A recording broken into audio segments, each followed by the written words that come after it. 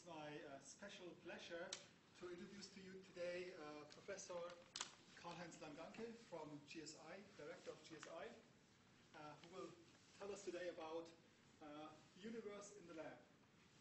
Um, and so uh, Karl-Heinz uh, initially got his PhD at the University of Münster, and then he went on a postdoctoral position to University of, to Caltech in California, and then he became a professor back in Münster Germany, uh, but uh, he was not quite decided where to, where to, he wanted to stay, so he went back as a professor to uh, Caltech before, after some time there, for family reasons, he went back to Denmark, Aarhus University, until finally he went to where he is now, to GSI, where he has first been a scientific director, and since a few years he's also uh, the actual director of GSI and can sign away billions of uh, dollars with a uh, swipe of a hand.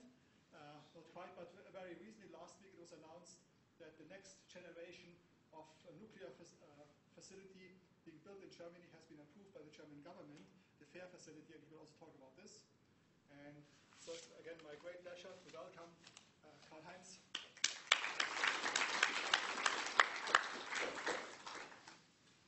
Thank you, Alex. It's a great pleasure to be here. Let me start with a personal remark. Because some 50 odd years ago in Germany, there were two little kids playing because they were neighbors. And now, today, it's my greatest pleasure that the other kid is also here. Dieter Pelz, who was uh, for several years my playmate. Dieter, it's a great pleasure to have you here. So Dieter lives in Melbourne. You have to travel around the world to be, which we do from time to time. So now to the science part. Um, I would like to tell you today why Germany is spending something like 2 billion euros to uh, learn more about the fate and the history of the universe. So this is the idea. And on this way, of course, I have at the beginning to tell you a little bit how we think uh, nuclear physics, and this is what we will talk about uh, contributes to the history, the universe, and then at the end, we have to, of course, discuss then why is it worth to spend so much money to learn more. But this is the idea. Of course, we have to sell a facility, and therefore we call our facility the University Laboratory uh, to have a little bit of a distance to our big brother, which is CERN at Geneva, which is the front frontier in high energy. We are, we are also an accelerator complex exactly like CERN, but we focus on something else, which is the high intensity frontier. So in this way, we are complementary and actually together. So why do we care about what I want to tell you? Why do we care about nuclei? The first uh, idea which I would like to bring to you is something which Carl Sagan, one of the very famous astrophysicists of the United States, said and he is simply put it in one sentence that we all star dust or star stuff. The reason for that is that most of the elements which make us and our surroundings actually were parts of stars and cooked in there, except for the first two, but we see we will learn about this later. And uh, you also have to think that this went through several star generations. So as I put out here, so we needed something like uh, 100 to 1,000 star generations to get what we see today. What we see today, I, I have a slide in a second. But first, let me introduce what are nuclei? Why do we? And uh, what we see is atoms, as we all know, are the building blocks of nature, at least the nature as we know it. And these atoms are made out of uh, two major parts. Uh, these are electrons, and then there's the nucleus in the center. More than 100 years ago, we learned that also a nucleus is made out of stuff. And uh, people say it's made out of building blocks called nucleons. And uh, if you know the number of nucleons in a nucleus, this gives you actually the mass of the nucleus, or also the mass number. So this is something which you will see from time to time. But there are two different types. Protons and neutrons. One is charged, the other one is not. Both have roughly the same mass.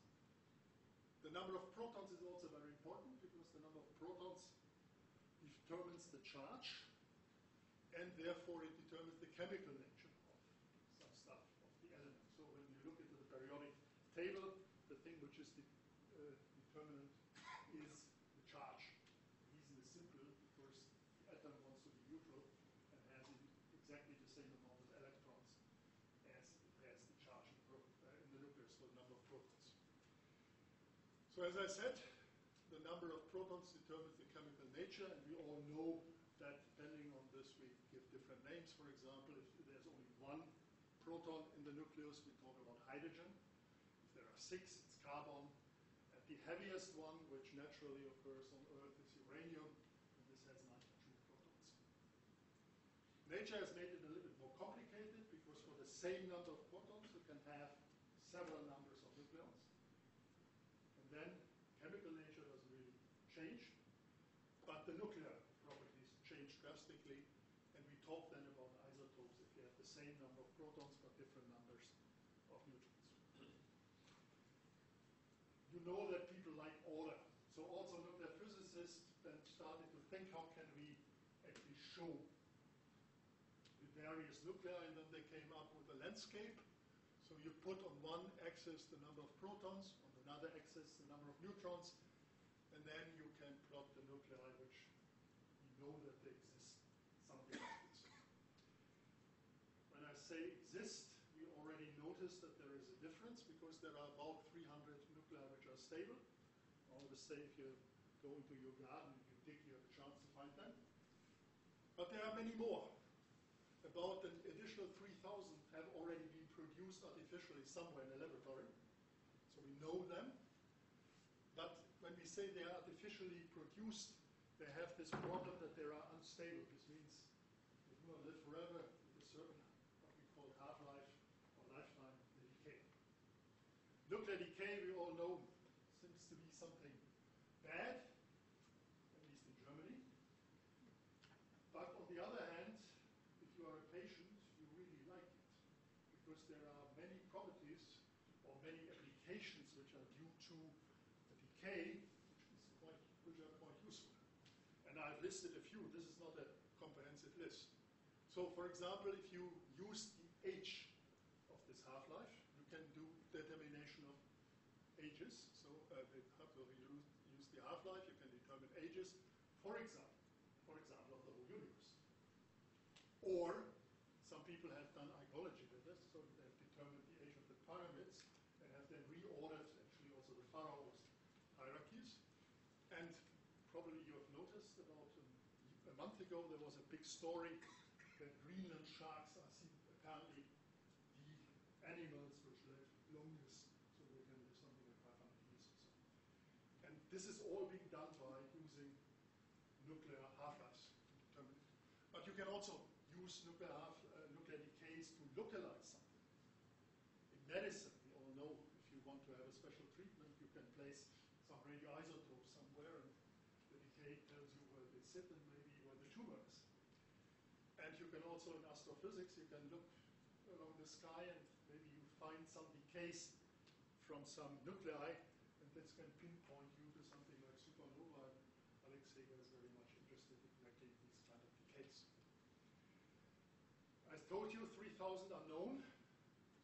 Theorists claim that there should be 7,000 of the order of 7,000. So there's a lot of work still to be done. One of the problems, of nature is using all 7,000 if you go somewhere into stars or explosive events. So you to understand all these nuclear matter. This will be a theme of my talk. So what we would like to know is now how are they distributed. So for this reason, I simply want to go now into our Milky Way. And here is something which is known already since the 40s. This is now simply plotted the number fraction versus the mass number. So it shows how abundant is a certain element or a certain there's a lot of structure on it. I mean, I do not guide you through all details. The thing which you might be interested in is hydrogen is by far the most common element in the universe, and it's about 71% from mass. Helium is the second one, 28. And these two together actually made in the Big Bang. So the first three minutes of our universe, the hydrogen and helium fraction has basically decided. And then all the 14 billion years afterwards, what we will learn now, what happened in, in stars, a little bit of hydrogen has been changed also into helium and, also, uh, and has been changed basically also into metals. Now metals is something very, very interesting because astronomers and astrophysicists call everything a metal which is which has a proton number larger than two. So if you learn in high school that something like neon is an edelgas, uh, a noble gas, for an astrophysicist it's a metal. So we have to live with that. But the interesting thing is also all these fingerprints. You see here is a peak in the abundance, and this sits where iron uh, is on this curve, or here uranium, thorium up here, or here's lead. So all these fingerprints have to do with special nuclear properties which are imprinted in these astrophysical objects where these elements are being made. So this is the tune of our story today. So here is again the question, where were these elements being made? I already told you the lightest elements, hydrogen, helium, lithium, in the first three minutes, and here's Michelangelo an idea about the first three minutes. Then the heavier elements up to uranium are made, being made in stars. We'll talk about this. And then we also have elements which are heavier than 92, which are artificially being made in the laboratory, of course. You know, researchers are always trying, always curious and trying to find new ways. And up to now, we actually do not know what the frontier is, what is, the heaviest nucleus which can exist. We do not know. At the moment, the record is proton number 118. It's just been accepted as being produced by colleagues in Russia. Our own lab was until a few years ago the world record holder because the one from 17 to 112 has been made in our lab in Germany. Uh, the important thing is if you make an element, so if you go home and think of a wonderful experiment to do, you make a new element, and if you prove this to the International Organization of uh, Pure Applied Chemistry, they then said, okay, you are the winner, you can invent a name. And then, of course, it's forever in the periodic table. And 110 has been called Darmstadtium, city, as a thank you from our lab to the city because they strongly supported us. Was discovered in the year 1994, has the number 110 in the periodic table. This is the gentleman who was the leader of the group to, to find it, to discover it. Then the city built a new convention center, and it's also named Darmstadtium. And I can tell you that our American friends which come have usually a very hard time to pronounce that word. And this year I found on the web, so this was an artist view of Darmstadtium. I have not the closest idea what he wanted to tell us, this artist. It looks nice. So now we go and ask why can the rest be being, being made in stars? And to have the first clue, if I find the cursor, let's look at the movie and put now four protons onto a mass scale and compare to 4 nucleons are heavier than if they are combined to helium-4. And uh, mass difference, due to Einstein, we all know, relates to energy difference. And therefore, we really see that fusing nuclei or nucleons, in this case four of them, to helium-4, creates an energy source. It's actually a very strong energy source. And this is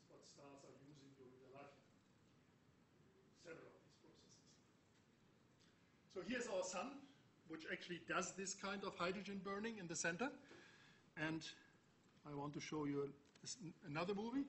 So here's the sun, and we will zoom in into the sun. And uh, we start to consider that when a star is born, temperature and density is increasing, and particularly in the interior. So suddenly in the interior at a certain point, it gets hot enough that nuclei move fast enough to overcome the Coulomb barrier protons, and then something interesting happens. They stick together, form a heavier hydrogen nucleus called deuterium, and submit two particles to keep everything fine balanced, which is a positron and a neutrino. So this deuterium is then suddenly available in the sun. It moves around, and you see it meets another proton, and suddenly we make the next, next nucleus with helium-3. Helium-3 moves around, another helium-3, and you see here an alpha particle and two protons are produced. The two protons are available to be fusing again, and this is the whole chain. This is how the whole sun works for four and a half billion years. And don't worry, for our lifetime it will still continue. So if somebody tells you that solar energies should become expensive, this has nothing to do with the fact that the sun is using its fuel so fast. But we have understood what is happening. We fuse, and of course, having, having done this once, nature can, of course, think to do it in subsequent steps. What happens is now this helium-4 has a larger charge. The problem is that the Coulomb barrier for, for helium with a charge of 2 is larger than a charge 1. So at these conditions at which hydrogen fuses in the sun, helium cannot fuse. Coulomb simply pushes everything apart. So what happens is the sun and stars like the sun collect helium, as one says, as ashes in the center. You, its own gravity, it's getting denser and hotter. Now you see what will happen. Once it is hot enough, that also two helium nuclei can come together. It's a little bit cheating. It's not two, it's three helium nuclei which have to come together, but it happens. And then we start to have helium burning, which happens in the core. And this hydrogen burning is continuing just outside of these helium ashes. So suddenly the star has two burning regions in the center, helium, and then in a sphere around the center, hydrogen burning. And something interesting happens at that phase when a star is getting into this phase. It's expanding. It's expanding hugely. So a star, and it's at the same time getting a little bit colder on the surface than the sun. And therefore people talk about something which becomes reddish if you look at it from the color, and it becomes big, so it's a red giant. The astrophysicists have imagination. And if you look at, this, at a star which becomes a red giant and compare it now to the Earth orbit around the sun, this is the size of the star, it is bigger. So when the sun gets into this regime, the Earth should be swallowed, but it's not true, it will not. The sun is expanding, but at the same time it loses mass. And therefore the Earth is not being, it is always kept by one solar mass, but the solar mass in 5 billion years is less than the solar mass today. It's 60%. Therefore also the Earth orbit, due to Kepler's law, would move outwards. So the Earth might survive for Venus and Mercury. So don't buy land on Venus and Mercury. this might be a problem in 5 billion years. So now we say that we could also fuse helium. So this is a nice slide because it shows you two critical reactions. Three helium-4 nuclei combine to carbon-12. And then carbon-12 combines with another helium-4 nucleus and makes oxygen. This is all. But think of what it is making. Carbon and oxygen. These are exactly the two building blocks of life as we know it. So life is created in the center of a red giant star. Amazing thought. So then we continue, and I've got this picture as Alex, it's from you, thanks. Um, so this takes you now through the history of a star, which is a little bit more massive than the sun, 20 solar mass.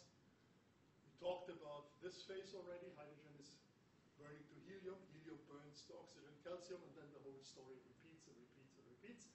So always the ashes has not the right temperature to fuse, fuse therefore the temperature has to increase. See here, this is in 10 to the 9 Kelvin, so this is the cozy temperature if you really think about it. So 10 to the 9 Kelvin, and actually at 10 to the 9 Kelvin, it doesn't matter whether you say Celsius or Kelvin. Or Kelvin. So it's uh, roughly the same.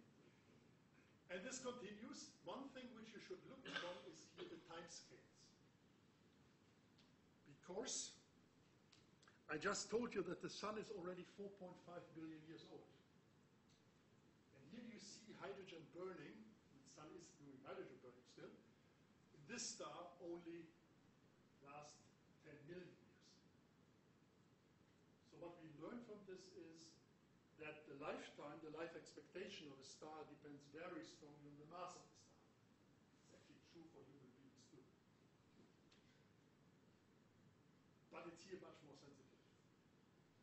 And the second thing which we should take home is if you look at, the, at these lifetimes, star basically spends all its life in hydrogen burning and helium burning. The rest goes quite fast. Therefore, if you look at the night sky and try to see a star, you have a 90% probability to find it in helium burning, uh, in hydrogen burning, and about 10% in helium burning. And this explains one of the fundamental diagrams uh, which astrophysicists or astronomers are using, the so-called Hertzsprung-Russell diagram. So now we have to zoom in what happens at this stage. Before we do that, I have to show you another movie. I hope you don't get bored by seeing all these movies, but they are usually better than if I explain this. So this is binding energy now. Uh, we look into a valley of stability, as people call it. So here up is the neutron and the proton, and now we fall down because everything gets stronger, bound and bound and bound and bound. And all these fusion reactions getting down into this valley is exactly what the star uses during its life. So this plot is the whole principle.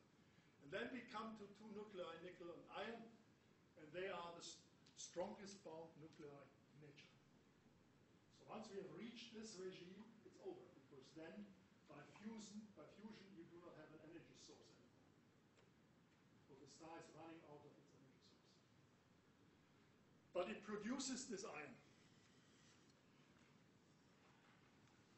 And we know that there are heavier ones. We have to talk about this too. So now we have to talk about what happens when we start to create this iron core in the center. So this is a star at this moment where it, has where it starts to produce iron in the center. It looks like an onion. People really talk about onion-like structure. And it has memories of what happened during its lifetime.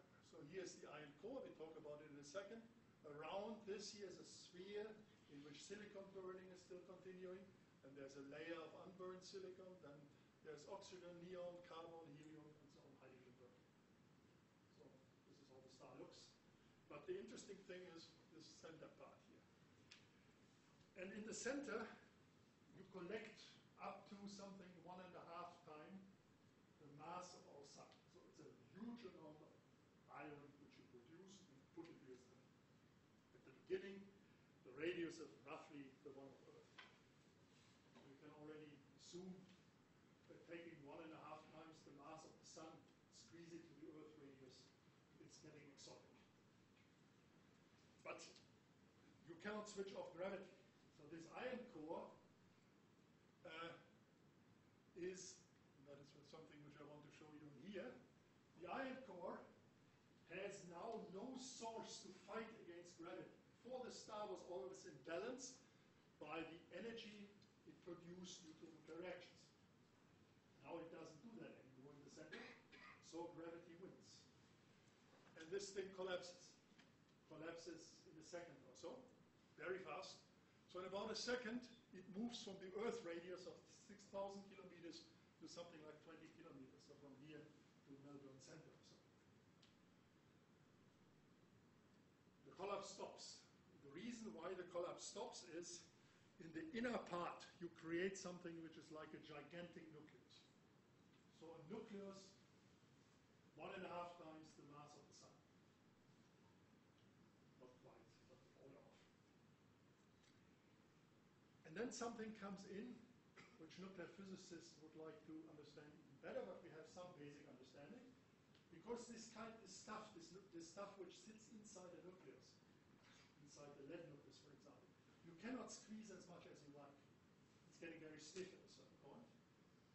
And so if the collapse happens, it can squeeze this inner part a little bit over the so-called equilibrium value, so the stuff which sits really into that nucleus, and then it bounces back. And this creates a shock wave, and this triggers the explosion of the star. And what happens is that the binding energy which you have gained by this collapse here is released. And it's optic, I mean, a percent or so is, is released in optical uh, light. And then you see suddenly a new star coming up. So this is the red, uh, this is the Large Magellanian Cloud before February 22nd, 1987, and this afterwards when the supernova went off. So if you compare the energy, the energy is being set free so that this thing can be bright nearly as a whole galaxy, is something like 100 suns whole lifetime of 10 billion years. So you can imagine how much energy sits in this explosion. And actually 99% of this energy which sits in the explosion you don't see it because it comes by so-called ghost particles, neutrinos, which we can also observe but we don't see. so, one last question before I come to the quest, how can we actually study this? Of course, people are always interested and were interested for centuries how to make gold. This gentleman was promising this to a person later became king of Poland and said, I mean, I know, give me the, the resources, in particular pay me, and I make you gold. So he put him into some castle, he mixed things around, and he found gold. Gold in the form of white porcelain, which became the so-called Meissen porcelain, which is the most expensive porcelain in all of Europe. This was invented, but he wanted to make gold and failed on that. Nature knows how to make gold, and the way our nature does it is by very fast nuclear reactions under really extreme conditions, very hot, very dense, many, many neutrons, more than we have in usual sur- uh, surroundings. And these nuclei which are involved are extremely short-lived. So if we want to mimic how nature makes gold, we have to understand all these nuclei. And this is something which comes back to us. So where does nature make it? We do not exactly know. There are two candidates. Today we heard in the talk by my colleague Gabriel, who sits in the back, that there is one probably more likely than the other. The one on the left is the more likely one. So what you see here is a simulation of two neutron stars, which are a binary system, happily circling around each other, but due to contraction at a certain point they start to touch or they start to merge. And if it's two neutron stars, which are actually the inner, uh, which is actually the part which is created in such a supernova uh, collapse, when these two come together and merge, you can imagine this is extremely exotic. We do not want to be close. This here is a simulation of a collapsing massive star, so this is a type 2 supernova, at least how theorists believe it should happen.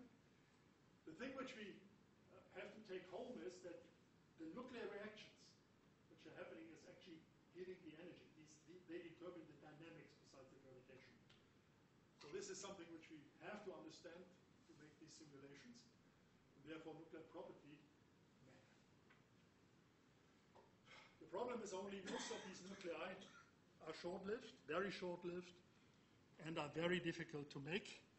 And many of them, or say even most of them, have never been made so far in the laboratory. To give you another idea of this, here is a simulation on. Uh, no, I didn't want to have this here. No. Should get back. I want to show you such a simulation of, a, of an R process. So this here, I have explained first and then I let it run.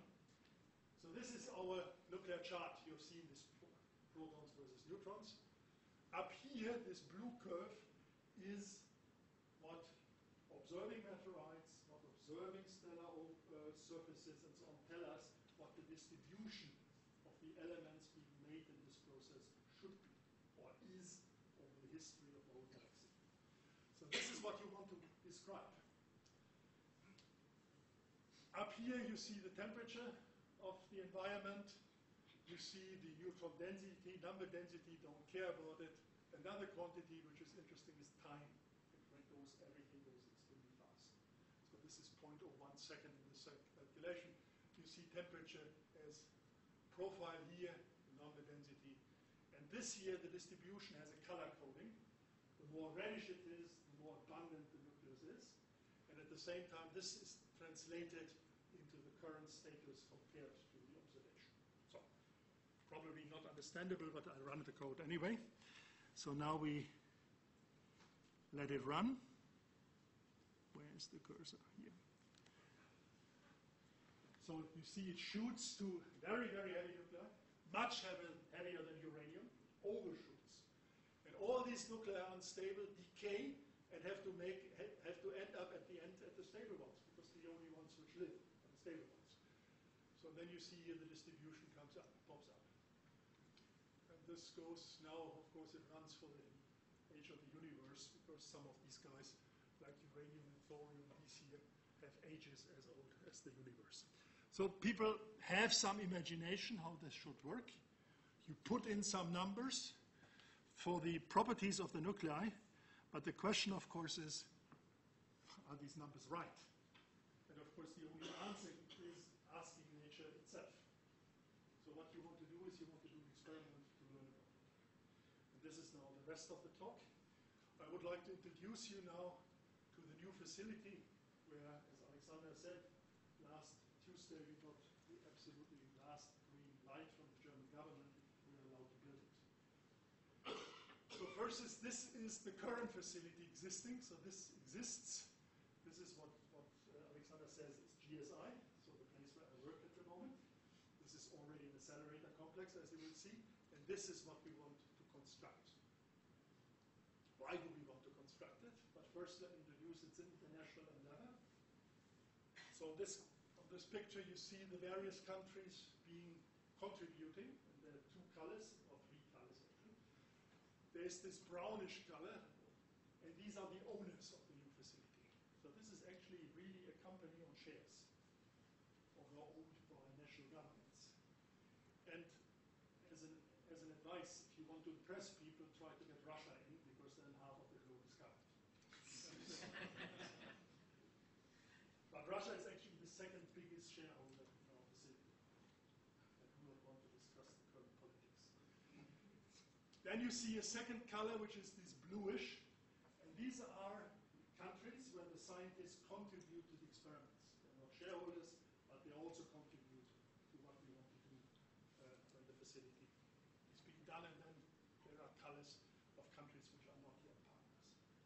Point out, yes, Australia is blue. So Australia is contributing, building detectors with all the knowledge which is available to this country and will contribute them uh, in a few years to our experiments, which is very nice. So the accelerator complex, as I told you, like CERN, we accelerator complex. Currently existing is already this accelerator, which is a linear accelerator. It was something special when it was built 40 years ago, because it was the first ever which was able to accelerate all elements from proton to uranium. Then you shoot into a second accelerator, and when it's moving through this one here, it has already reached something like 30, 50% of speed of light. Then we can take what we get out from there, and uh, oh, it's not shown here. I have a second graph. It would go then into a storage ring. I'll tell you in a second. But from in the future, we will shoot into an even bigger one, where we come even closer to the speed of light, but also uh, a factor of 100 higher intensities. And then all these beams are, experiments. These are all experiments here. And there are four big pillars which contribute. There's one which is doing uh, atomic physics, plasma physics. I say a word at the end if there's time. I say also something about this experiment, which is actually studying this very dense matter and sees how to uh, how much we can compress nuclear matter.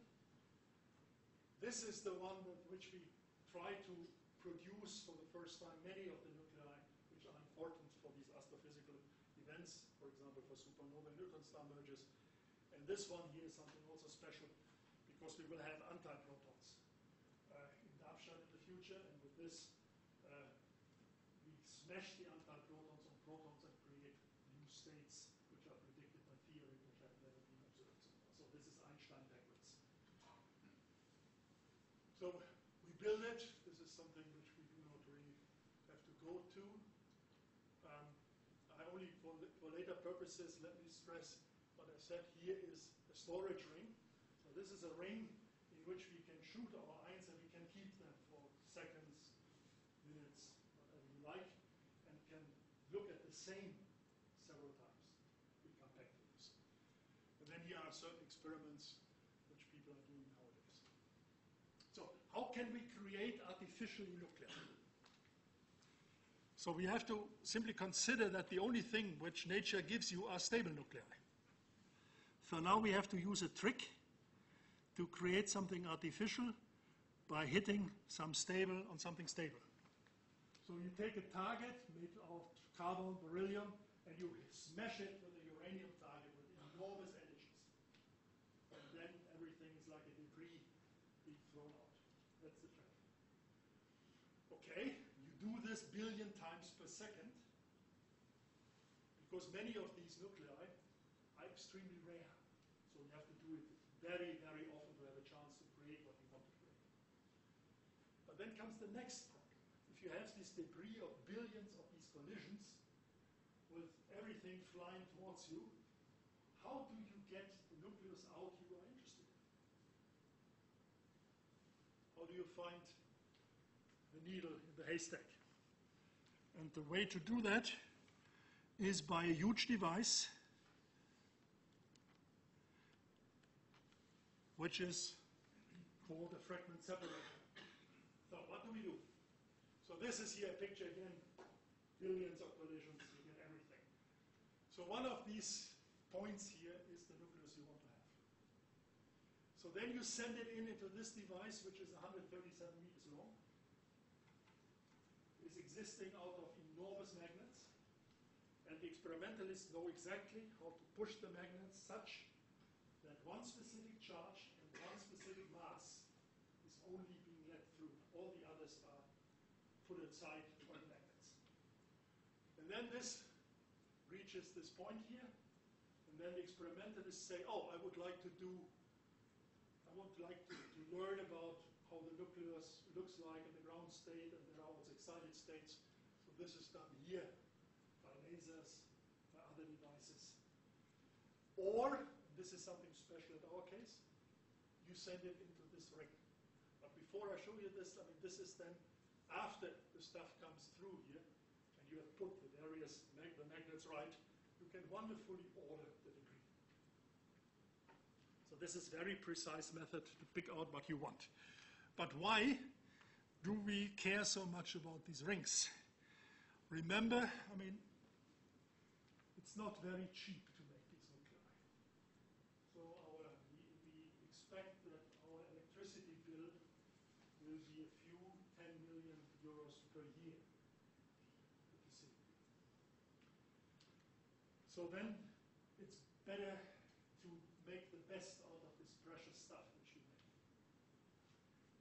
Other facilities can also make radioactive nuclei, and then they can use them once, and then they decay and they're gone.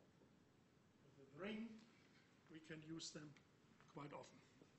And this is what I would like to show you now. So now, this is a, a particle getting into the ring, and now it moves around. Actually, there are many particles. And whenever it is moving around, and if, you, if a, particle a particle lives something like a millisecond and moves with something like 10% or 20% of the speed of light, you have a thousand times chance to measure it when it's passing. So we have simply electrodes here. Here's a cooler, here's an electrode. Whenever the particle passes, it gives a signal. And then you get millions of these frequencies of all the particles passing. And then you do something like a wonderful analysis of it called fast Fourier transform to get it into frequencies. And then you get something ordered like this, which already looks much nicer. And then you go to the next, and to the next, and then you can resolve even ground state of a nucleus, the excited state of a nucleus. Wonderful.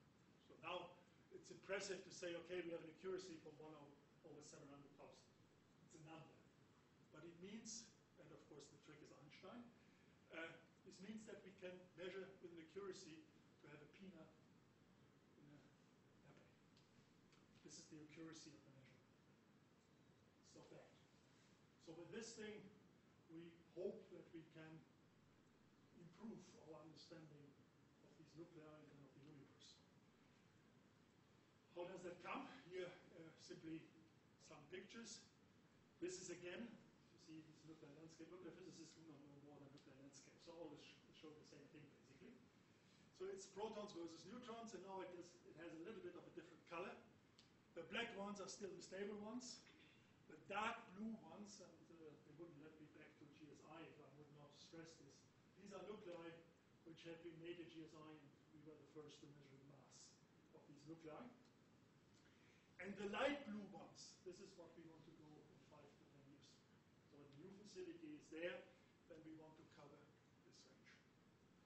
And in here, this is the path which people believe is run in star merger to make gold. Remember what we talked about 10 minutes ago?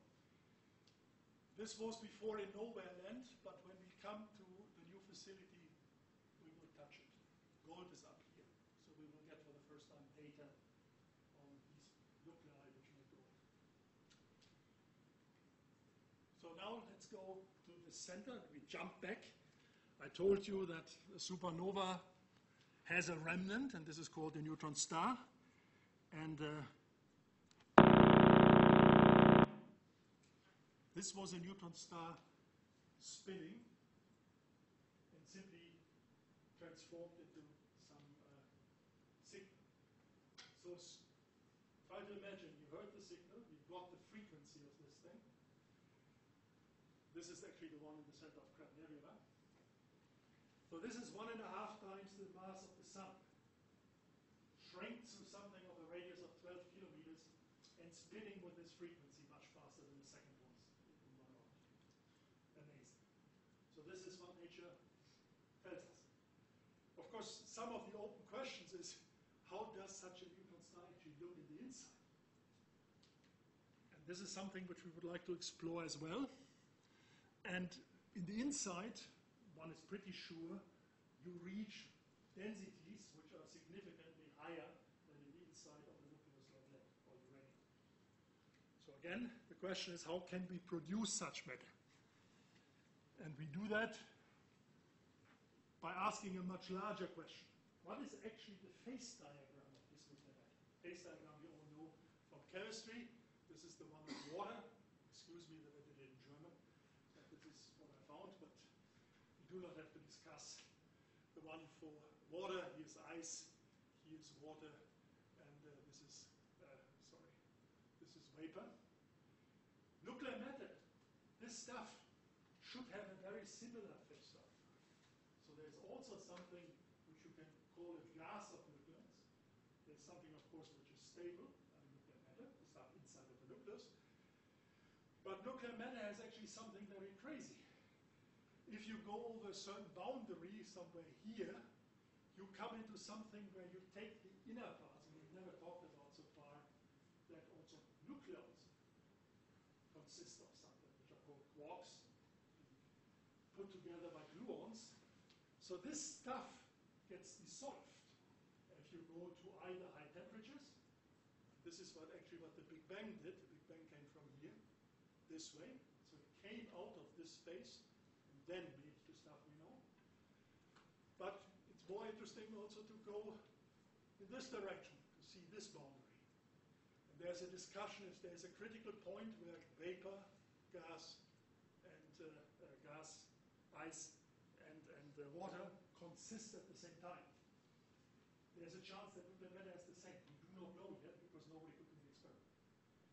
Question, of course, is how can we do that?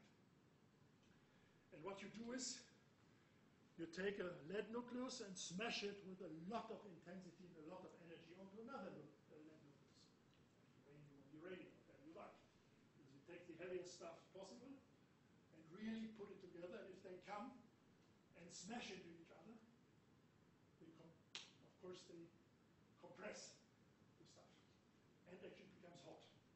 So what you create is something, I mean, since it's relativistic, it looks like a pancake, don't worry. but it becomes a hot fireball. But you would like to know what is going on in this hot fireball, so now you have to ask what are the messengers of the properties out of this hot fireball.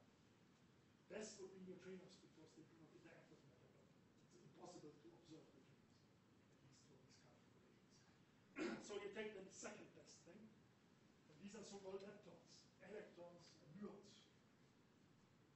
The reason for that is they do not participate in the strong interaction which keep nuclei together. They only interact by electromagnetic forces. So they have an easier time to get out. So you build then a huge detector, like this. There should be a human being somewhere here to get you an idea. Uh, so this is huge. So this will be built. And this collects then everything which comes out of this collision. And then you put everything backwards. Of course, you can imagine you need big computers. Our computer center is 20 by 20 by 20 meters, because you need computers. And then you do it backwards, and at the end, you probably learn what nature has produced in this fireball. So this is another experiment we are looking forward to. So then let me say a few words at the end to atomic physics, because atomic physics at our lab is also different than atomic physics by thinking.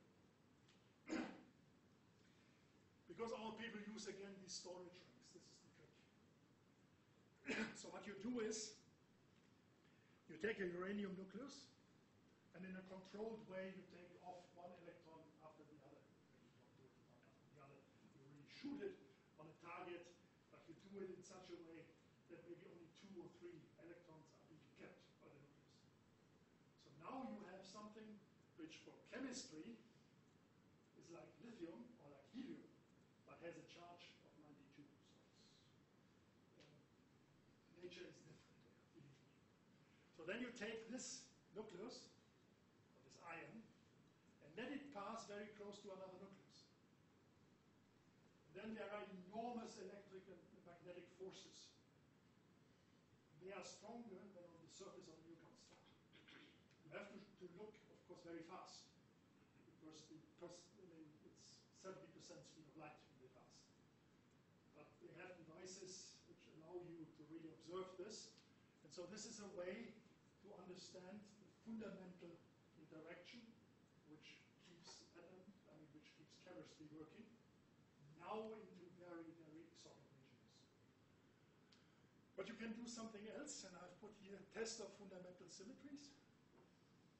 Einstein, we all know, had this wonderful idea of special relativity. Of course, you know, I mean, you become only famous, really famous, if you prove that Einstein is wrong. We know that there are many people who make, who try very hard. And so far, everyone failed. But one is trying.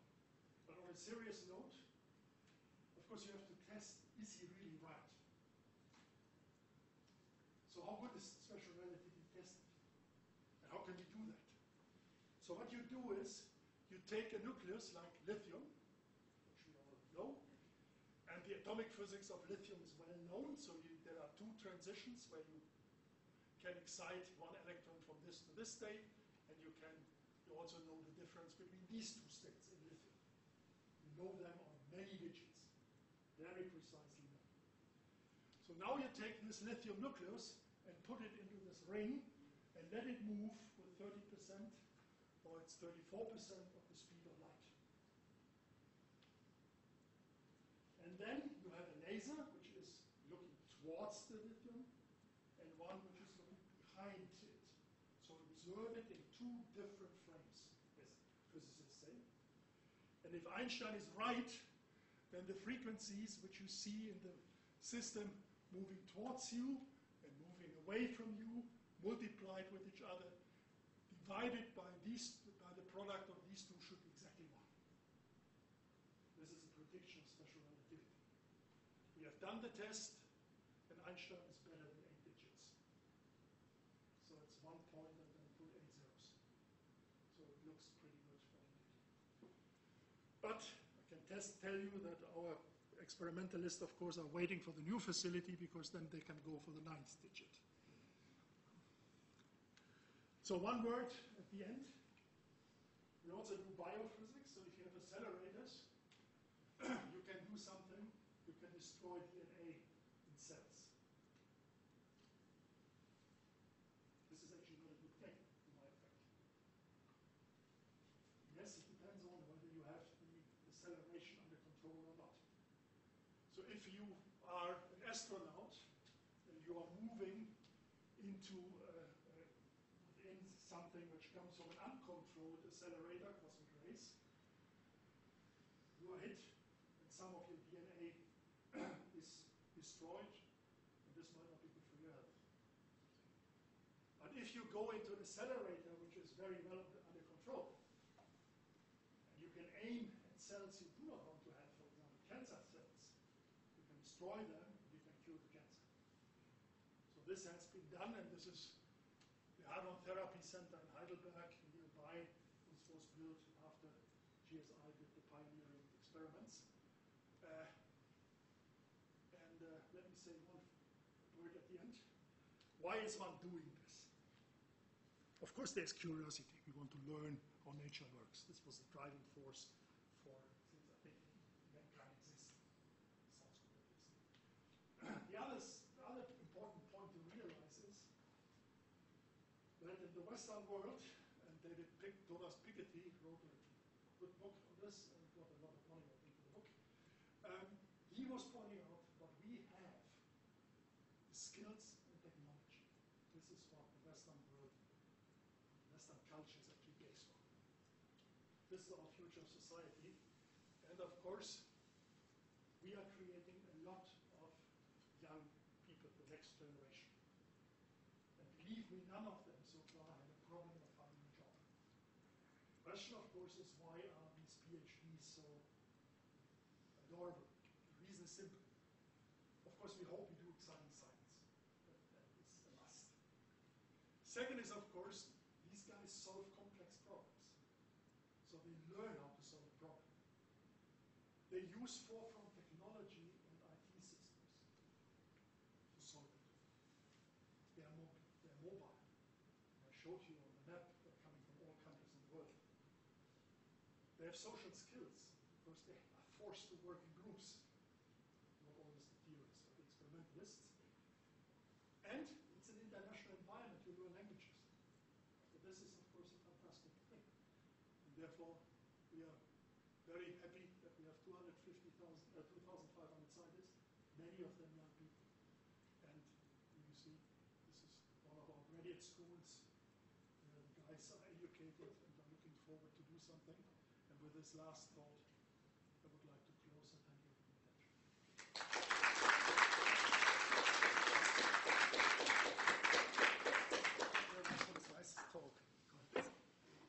Uh, questions? Every one of you can, of course, propose experiments. We are an open lab. Whoever has a great idea can come and propose the experiment. If an international committee says this is a good experiment, then do it. So please propose your experiment.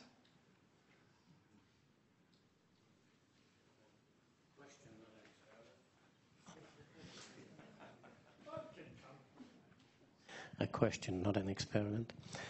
Um, many of the uh, theories and concepts developed in pursuit of what you are doing produce results which can be used later by technologists. But do you have a definite focus on some development, on, on new technologies or anything like that, or is it all purely theoretical? Um, okay, I'll give a twofold answer. I don't think that basic research should be made with only applications in mind. And my favorite example is something which happened something like 90 years ago. Probably most of you know who Werner Heisenberg was, inventor of quantum physics. So Werner Heisenberg in 1925 had a, had a hay fever. So he went on a small German island called Helgoland to cure his hay fever. And there he had the idea of the uncertainty principle in quantum mechanics. He was certainly not thinking of mobile phones, of computers, and everything around you which is now based on quantum physics. This is something which we have to tell the politicians. That's number one. Number two is, of course, there are applications coming out. There are always people. And, and in an environment where you have different ideas coming together, there are always people who say, oh, what you found there, I can use there. Our best example is actually the, the cancer treatment, which turned out, I mean, now maybe I can say two or three words more on this. So this was done by biophysicists who really believed in it. Of course, we were not allowed to treat patients, so they did the pioneering work to prove that it should work, and then we had to convince physicians to come in. At the beginning, of course, the patients which were treated had a life expectation at that time of a few weeks. Because who wants to get into a beam? Uh, if you are, I mean, you have to be desperate. We did it, started in 97. The survival rate, which is measured in five years after the treatment, is 80 to 90 percent. And you do this, of course, in places where the surgeons cannot go.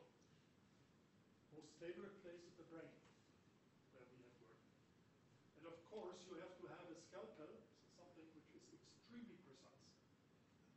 Because you do not want to destroy something else in the, brains. So our measure, our uh, treatment of cancer has an accuracy of millimeters. So this way you could go in there, and then you need one more. If it is too expensive, nobody would do it.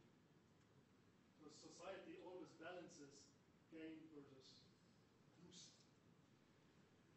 But it turned out that the treatment that our therapy, with our therapy, is cheaper than the chemotherapy.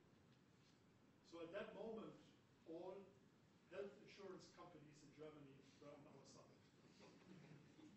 and now there are two facilities in Germany. There's one built in Italy, which uh, there's one in Shanghai. So it's spreading. The US is thinking of it in Texas, so this is spreading. It's not for all cancers. Many things you would go and, and surgeon can do it better than we can, or easier. But at certain things, the spine or in the brain, you might think. Uh, now we are working actually on something called moving targets, because to have a accuracy of a millimeter, the body should not move during the time. So now you have trying to have, you have to have a loop which actually tells the beam switch off if it moves, moving, or make the move with the picture. So that looks as if we can also solve that. And actually, there is a way already, because there's another group which has independently developed it in Japan. They seem to be closer to solve that. So it's, uh, we can do something else actually with the beams, which is also nice. The pr- proof of principle has been done two years ago. Uh, there are so- so-called cardiac uh, arrhythmic uh, arrhythmica. So this is, of course, something which surgeons would like to go in with a catheter and, and then burn your, your meat in the heart so that the conjunction is, is uh, uh, taken away. But you can do it with beam too without surgery. So the, the first experiments were done with pigs. So we had 14 pigs. One actually got a heart attack. 13 were then available for doing experiments. They all survived. Looks promising. So let's, we have to see what comes out of it.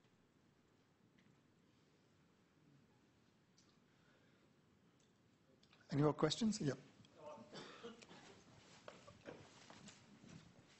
Uh, When will the new facility be operational? I I suppose it'll be in stages, but We, we are aiming to have first beams in 2022. Six years from now. that's the whole thing. No, the whole thing is, is done in 2025. Because we built it in a staged approach. So there are experiments which can go already and we build still at some others. And actually by the international owners, we have to be done by 2025. They wrote this into our contracts. If any more questions?